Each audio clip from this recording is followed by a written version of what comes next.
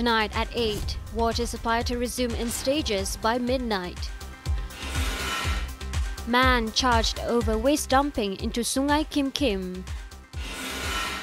And bomb scare rattles Sri Lanka as more arrested in attack probe. Catch these stories and more on 7 Edition.